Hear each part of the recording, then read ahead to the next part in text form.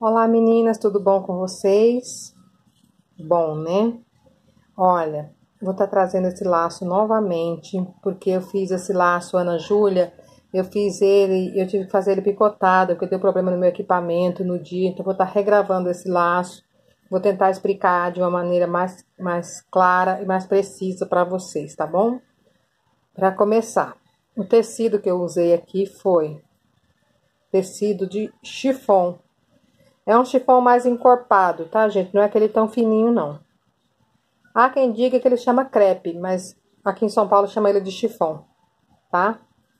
Então, esse é o, laço Ana Júlia, que seria uma, uma réplica do laço boutique, só que feito no acetato, certo?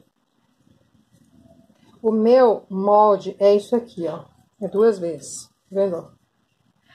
Vendo? Vou explicar para vocês como é que vocês fazem esse molde aqui. Esse molde tá aqui, né? Se você tem dificuldade de fazer desenho, eu vou te dar uma dica. Eu vou mandar uma foto, vou postar uma foto desse, desse molde junto com a foto do laço, quando eu for, for publicar, certo? Aí, ó, se você tem dificuldade de desenhar, se você tem um computador em casa que não seja um, um computador de touch na tela, porque tá, tem gente que tem tablet, aqueles tablet não, aqueles é, tele, é, notebook de toque na tela, aquele não vai servir. Tem que ser um, um, computador normal. Se você tem um computador normal, você pode dar, se você vê um molde desse, você não consegue desenhar. Você vai lá no seu computador normal, você dá uma pausa na tela. Se for uma foto, tudo bem. Se for um vídeo, você dá uma pausa no vídeo onde que tá Aí você vai apagar a luz da tua casa. Quando você apagar a luz da tua casa e você colocar o seu, o seu, a sua folha de sulfite em cima do, da tela do computador, você vai visualizar o, o, o molde embaixo. Aqui não está visualizando por causa que é papel branco e o molde é branco. Mas no computador dá para fazer isso tranquilo. Eu já fiz várias vezes, já tirei vários desenhos, vários xerox, várias cópias de molde assim, tirando da tela do computador. É super fácil. Você coloca a, a sua folha lá, tira o molde, transfere para um papel mais duro, corta, faz o seu molde bonitinho, depois você vai cortar. Certo? Certo. Então vamos lá. Olha, isso daqui é o acetato. A gente, eu compro ele, a bobina, né? Lógico, eu não compro uma bobina inteira, eu comprei um quilo dessa bobina. Se não me engano, custa 13 reais. Você vai tirar um pedaço da bobina. Aí você vai pegar o seu molde aqui, ó, e vai colocar em cima dele. Pra poder ver o comprimento que você vai cortar.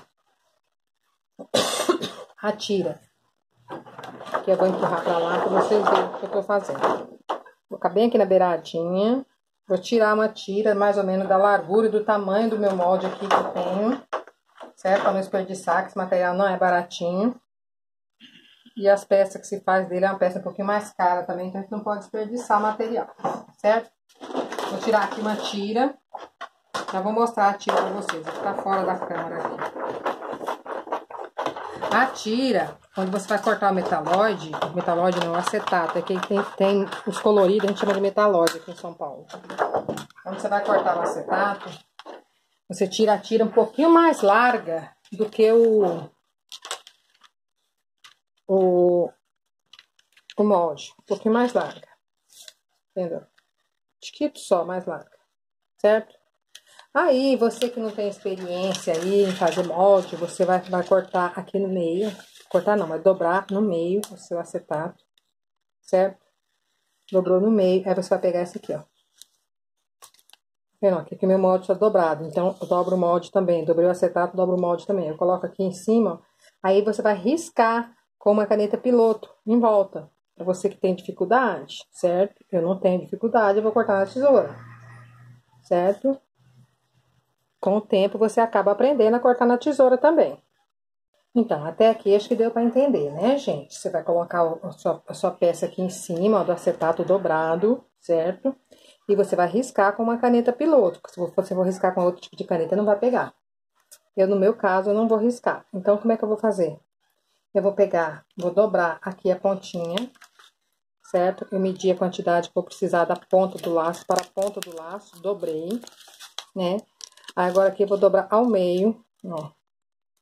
Marcar aqui no meio certinho, ó.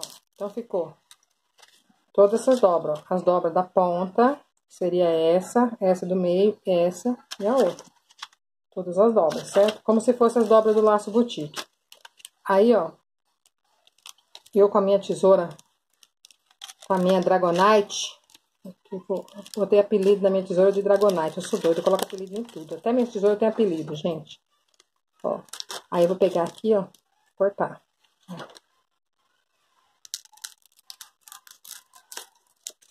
Sai lá na frente. Ó.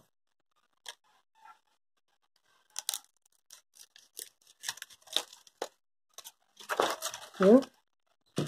Agora a gente vai dobrar aqui. Eu posso cortar separado e posso cortar junto também. Vou cortar separado, para não ficar muito pesado pra tesoura. Eu fico escravizando minhas tesouras novas, dali dia já não presta mais nada. Aí, ó. Cortei, tá vendo? Modelei. Depois de cortado, se eu precisar que ele fique mais estreitinho, eu posso modelar ele na tesoura, entendeu? O difícil é você fazer é, o primeiro corte. Se fazendo o primeiro corte, depois se você precisar diminuir o tamanho dele, é fácil. Diminuir a largura, né? Porque o comprimento é o mesmo. Ó. Tá vendo, ó? Já fiz esse modelo, esse formato, ó. A pontinha tá dobrada pra dentro, então é como se estivesse assim, ó. Tá vendo, ó? É. Aqui eu, eu tenho certeza que vou ter que tirar um pouco, tá muito largo, tá? A espessura do que eu tenho que fazer. Eu não vou fazer um laço pink, porque eu já tenho vários pink pronto, ó. Então, aqui, ó, eu vou diminuir o tamanho dele, ó. Tá vendo que eu tô diminuindo? Passar assim, ó. Ó, tô diminuindo, né? Aí, aqui, ó, também vou diminuir do outro lado. Aqui no meio pode ficar bem magrinho, viu, gente? Ó. Essas pontas aqui pode ficar bem magrinha, bem magrinha, bem magrinha. Quanto mais ela ficar magrinha, mais estética vai dar no laço no final de, do, no final de ficar pronto. Se você riscou, você vai cortar certinho, não vai ter que fazer nada disso que eu fiz. E, ó, tá vendo? Tá bem magrelinho, porque o laço que eu quero fazer não vai ficar tão largo, ó, viu? Como é que tá? Consegue visualizar? Ó. Viu? Tá todo certinho, todo bonitinho. Aí agora eu vou pegar o tecido que eu já costurei. Eu vou mostrar o jeito que eu costurei esse tecido pra vocês. Fazendo um tecido dourado. Esse tecido aqui, esse tecido é o tecido de... Como é que chama esse tecido, gente? Esqueci o nome do tecido agora. É aquele tecido metálico lá que chama é, brocal. Parece um brocal, um tecido metalizado. Ele não é aquele outro lá que tem um nome estranho. Gente, esqueci o nome do tecido tudo. Olha a cabeça de vento. Então, esse tecido aqui é aquele, aquele, aquele dourado crespinho que você passa a mão nele assim, ele parece uma lixa. Dá até gastura. Então, é aquele. Se eu lembrar do nome do tecido até o final do vídeo, eu falo. Tá bom? Se eu lembrar. Mas eu chamo ele de brocal. Tirei todas as fresquinhas da mesa, ó. Cortei. Lembrando que esse tecido foi costurado na diagonal, assim, ó. No tecido enviesado do tecido. Explicando mais uma vez que enviesado do tecido é quando você tira uma ponta assim, ó. Você dobra o canto e passa a máquina e fica no enviesado. O tecido fica enviesado. Esse tecido de brocal, ele é um tecido muito delicado. Se você forçar a barra dele, se você forçar muito a, a, o, metal, o acetato para entrar dentro dele, é perigoso ele desfiar. Então, você tem que deixar ele entrar bem, bem assim, é, devagarinho, é, no acetato. E não forçar muito. A costura também não pode ser muito na beiradinha, senão ele vai, vai esgarçar. E, ó, observação. Tá vendo aqui os cantos, essas pontinhas? Você vai ter que pegar essa pontinha e tirar aqui na tesoura, arredondá-la. Porque se você não arredondar essa pontinha aqui, ele vai engastalhar na bordinha do tecido e vai furar o tecido. Ainda mais esse tecido que é muito delicado. Tá vendo? Furei. Aí agora nós vamos pegar todo esse material aqui e vamos introduzir aqui dentro. Dentro desse saquinho. Ó, repara que ele tá entrando bem folgadinho. Porque eu não quero que ele fique muito apertado para não esgarçar. Porque esse tecido é muito delicado. Se fosse um tecido mais encorpado, você podia colocar o essa, essa coisa bem mais, mais, mais larga. Se eu achar que ficou muito largo, eu corto outra e faço outra, outra base para colocar aqui dentro. Depois eu utilizo essa, essa, esse metal, esse plastiquinho em outra, em outra tiara. Mas eu acho que vai dar certo. Vamos ver? Vai colocando aqui devagarinho, vai empurrando, vai puxando. Empurrando, vai puxando. É, um, é grande, tá? E outra coisa, se tiver muito apertado, se tiver que esticar muito o plástico para entrar, é perigoso ele romper no, no, no, nessas, nessas partes que estão bem fininhas, é perigoso ele romper. Então, você tem que deixar mais, entrar com mais, mais, mais suavidade. Eu acho que vai ficar legal, não vai ficar tão forçado e acho que dá pra mandar ver. Aqui, ó, eu vou ligar minha cola quente. Continuando aqui, ó. Aí você vai, colocou ele, aí você vai cortar as partes que sobrou, né? E deixa um pedaço assim de mais ou menos um dedo sobrando de cada lado, até mais um pouquinho de um dedo. Uns quase dois centímetros para você introduzir para dentro aqui do tecido. Você vai colocar aqui para dentro, ó. Pelo lado de trás, tá? Pelo lado que tá a costura, ó. Você empurra aqui para dentro.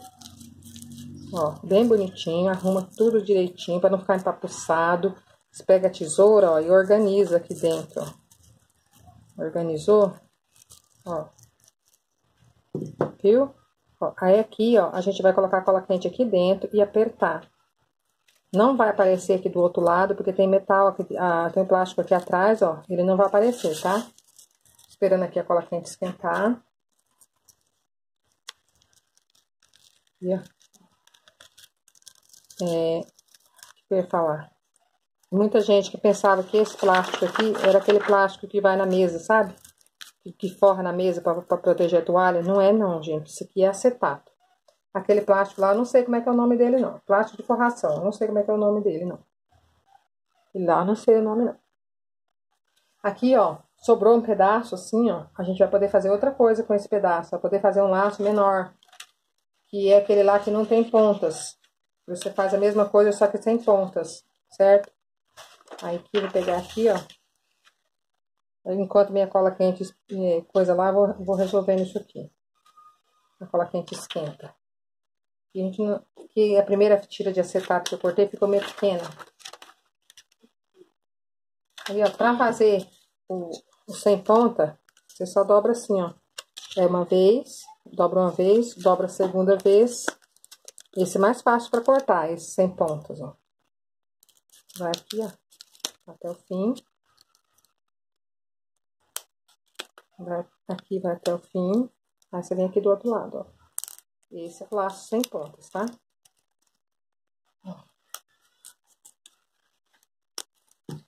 Aí vai ficar assim, com quatro gomos iguais. Aí você vai introduzir ele dentro do, do negócio aqui. Esse aqui é sem pontas, tá? Esse é o sem pontas, cai um lenço aí, ó.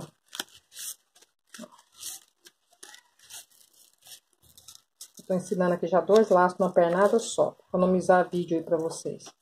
Sempre esqueça da bendita da cola quente, gente. Vou tirar esses graniscos de, de plástico daqui. Eu acho que ela já deu ponto de soltar cola. Aí eu vou introduzir, arrumar direitinho aqui. Aí eu vou introduzir o bico da minha cola aqui, que tá até com uma agulha aqui engastalhada. Gente, o meu dedo já ficou tão calejado que eu belisco até a cola quente e ele não sente mais nada. Será que eu tenho algum problema no meu dedo? Ó. Você vai aqui a gosto. Tá vendo? Coloquei cola quente aqui dentro, apertei bonitinho. Ó. Fica bem selado, tá? Não fica frouxo. Aí você dá uma espichadinha no trabalho. Eu não quero que sobra muito tecido pra dentro. Quero que venha tudo pra, pra cá, ó. Você introduzir aqui pra dentro, ó, tudo bonitinho. Já tinha introduzido, mas como eu pichei, ele voltou. Ó. Você abre aqui a boquinha e taca a cola lá dentro. Mais pra dentro do que pra fora. Porque quando você apertar, ela vem um pouquinho pra fora, tá vendo? Ela vindo pra fora. Você vem aperta aqui, selou. Prontinho. Então, esse laço, ele não vai nem costura, gente. Pra você ver como ele é tão fácil de fazer que ele não vai nem costura. Você pega uma linha e você amarra ele. Ao invés de você costurar. Você amarra. Ó. Então, vamos lá? Vamos fazer a montagem do laço. Até aqui vocês entenderam, né? Então, vamos lá. Você vai pegar essa última parte aqui, ó, do laço. Aí tem a do meio, o gominho do meio. Você vai segurar no gominho do meio. Você vai pegar a última parte e vai colocar assim. Ó. Colocou assim? Colocou. Agora você vem com a outra parte, a última parte também, e coloca assim, ao contrário. Igual o símbolo do infinito lá do, do famigerado laço boutique. Aí você vem pra cá, faz a mesma coisinha que você faz quando você vai fazer o laço boutique, ó.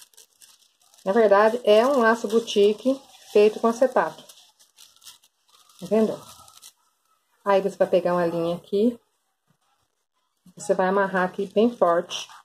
Enrolar umas quatro, cinco vezes. Amarrar bem forte. Aí você tá vendo que ele tá meio sem estética, né? Já já ele vai tomar forma, você vai ver. Amarrei aqui. Aí eu vou pegar a, outra, a última pontinha que sobrou aqui e vou amarrar. Vou amarrar. Se você quiser dar uns pontinhos, você pode dar. Mas não tem necessidade nenhuma, nenhuma mesmo. Te garanto que não tem. Aí você amarra aqui. Porque tem a cinturinha, sabe? Ela ajuda a prender a linha aqui no meio, aquela cinturinha. Ó, cortei. Agora aquele, aquele tchan no laço. Você vai pegar aqui, vai dar aquele puxão, igualzinho você faz pra puxar o laço boutique.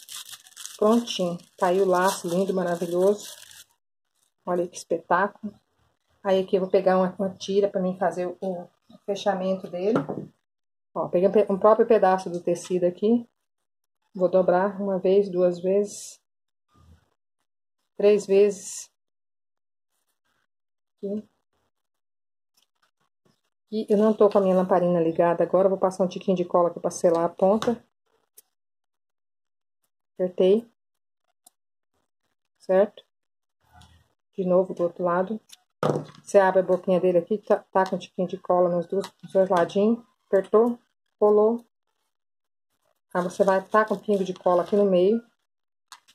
Ó.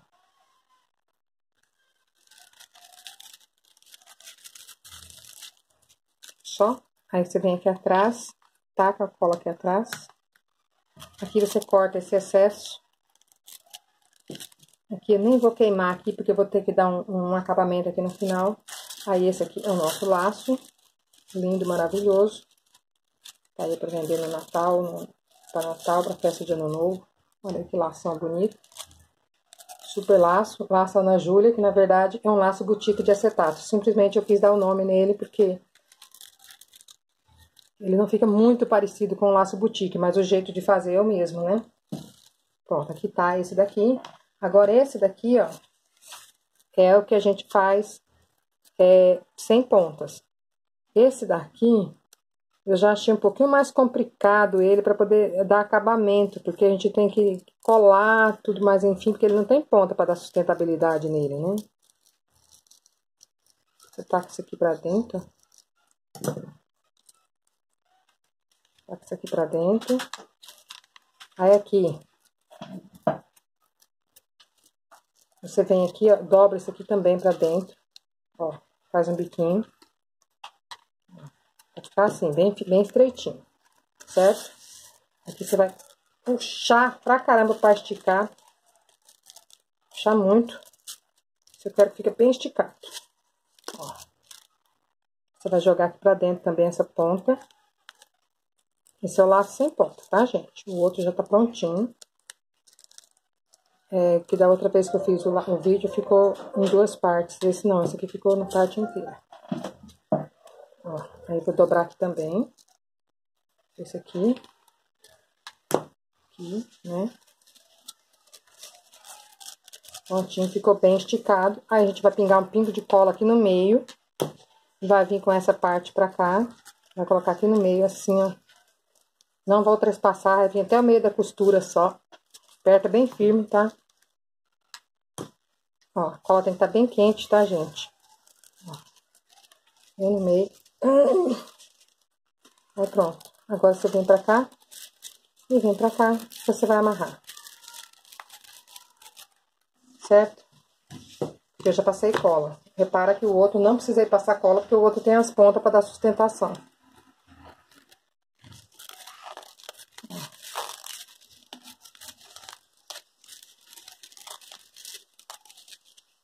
Aí?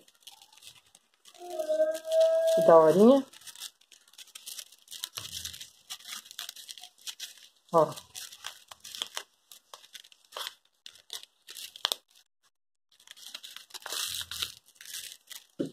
Ó, um lacinho sem pontas. No caso, ele eu fiz com um pedaço que sobrou, entendeu? Da coisa, um aproveitamento de, de, de peça que eu fiz, não, não, nem medi nem nada.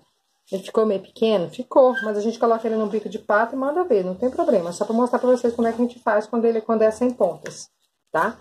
Então, esse laço aqui, você pode botar um acabamento em pérola aqui, você pode colocar um acabamento em strass, né? Você pode botar um acabamento em strass, que não precisa muito, que já tem muito brilho nele, né? Então, eu acho que a pérola ia cair muito bem aqui. E o strass, ó, digamos que eu colocasse o strass aqui no meio, não vai nem parecer muito, ó. Tô dando uma enroladinha assim, só pra mostrar como é que ficaria. Mas se você quiser pôr, você põe. Vai ficar legal? Vai ficar legal. Ó, viu? Enrolei a cordinha do strass aqui. É, acho que vou deixar isso desse jeito, olha aí, boa ideia. Ficou bem bonito o acabamento dele, ficou bem, bem bacana. Vamos fazer de forma direita, passar colinha. Tá vendo só, gente, como é que a gente descobre o jeito de fazer as coisas? Ah, às vezes a gente se mata pra fazer um acabamento que vai durar horas pra fazer. Às vezes você gasta um pouquinho mais de material, mas, ó, passei um tiquinho de cola. Aí eu vou rodar em volta tudo. Vou vir de novo. Ó.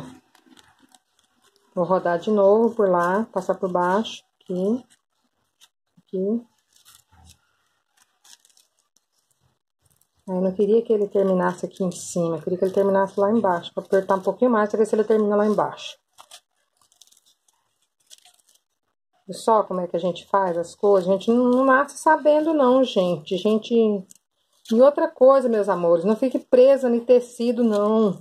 Ai, com que tecido foi feito? Não, fa vê o modo de fazer aí e faz com o tecido que você tem na sua casa, vai ficar legal. Se não ficar legal, pelo menos você aproveitou para treinar, entendeu? A gente tem que, tem que se arriscar nessa vida, né? Ó, não fique presa em tecido, não. Ai, qual é o tecido que eu quero fazer igualzinho? quiser fazer, é brocal mesmo o nome desse tecido, tá? Não, não tem outro nome para ele, não. É aquele tecido de brocal. Esse é o nome que eu dou pra ele, é o nome que a, que a, loja, que a moça da loja me fala. Ah, como é que chama esse tecido? É brocal. Ele é bem crespinho, tá? Então tá aí o laço, lindo, maravilhoso. Agora eu vou encapar a tiara com ele também. Vou tirar uma, uma tira bem fininha da, do, do mesmo material. Eu vou embanhar bem fininho assim, ó, estreitinho, um pé de máquina mais ou menos assim. E vou eh, girar no avesso e vou fazer, a, a, forrar a tiarinha para esse laço. Ok, meus amores? Espero que vocês tenham aprendido, que vocês tenham gostado. E que esse vídeo tenha ficado melhor do que o outro que eu fiz anterior, que foi que eu fiz esses assim, vermelho, fiz o vermelho, fiz, o, fiz azul, fiz verde, eu fiz ele em todas as cores que e eu tinha o material em casa, ó. Eu fiz ele amarelo, fiz ele em... Ó, que lindo que ficou o amarelo. Amarelo de chifão, tá vendo? Ó, que tá até aparecendo o plastiquinho por baixo. Fica assim um brilho e, sei lá, dá um, dá um ar de chiqueza nele. Na verdade, é um material bem, bem baratinho. Olha como ficou bonito. É uma tiara de responsa, uma tiara muito bonita. Você tem que colocar ele num arco forte, que ele é um laço pesado, tá bom? Então fica aí a dica para vocês, tá? Um grande beijo no coração de vocês, espero que aproveitem. Fique com Deus.